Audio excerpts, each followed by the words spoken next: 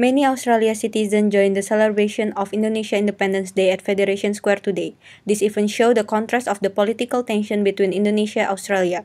This year, Indonesia brings the theme Unity in Diversity, which means citizens from different cultural backgrounds from both countries can have a coherent relationship. Indonesia representative for Australia Mia Mohamad says that even though there is a political tension between these two countries, there is always a way to make the relationship better. This includes bringing Indonesia cultures and arts to Australia.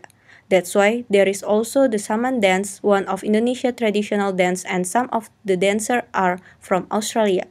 The Saman dance community member, Pipit says that by inviting local citizens to join and learn the Saman dance together, we hope that Indonesia can build a good relationship with local citizens.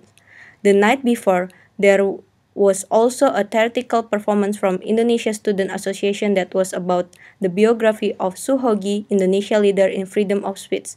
These cultural events are hoping to bring a better relationship between Indonesia and Australia in the future, in which citizens can start by building a good relationship and respect each other.